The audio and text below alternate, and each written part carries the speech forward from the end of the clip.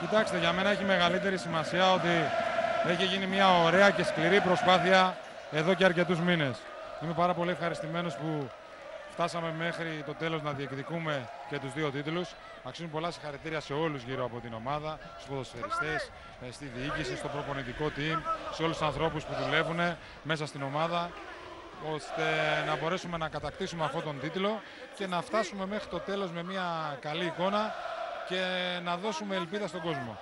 Πολύ καλός και ο αντίπαλος σήμερα. Περιμένατε την εξέλιξη αυτή στο αγωνιστικό κομμάτι, μιλάμε. Κοιτάξτε, ε, όταν μιλάμε για έναν τελικό κυπέλου, νομίζω ότι μπορεί να υπάρχει το φαβορή στα χαρτιά όπως ήμασταν εμείς, αλλά υπήρχε και ένας ε, αξιόμαχος αντίπαλος, μια ομάδα με πολύ καλή πορεία και βοήθησε ώστε να γίνει ένα καλό παιχνίδι. Θεωρώ ότι για μας έπαιξε μεγάλο ρόλο ότι ήμασταν όλη τη χρονιά σε τρεις διοργανώσεις με 55 παιχνίδια και ώστε μετά από τόση προσπάθεια να φτάσουμε να διεκδικούμε και τους δύο τίτλους και να είμαστε μέσα σε τρεις οργανώσεις, είναι μεγάλο κατόρθωμα για αυτή την ομάδα και αυτούς τους παίχτε.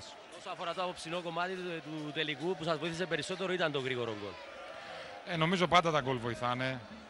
Ε, και ειδικά σε ένα τελικό που θα έλεγα ότι πετύχαμε δύο γκολ γρήγορα.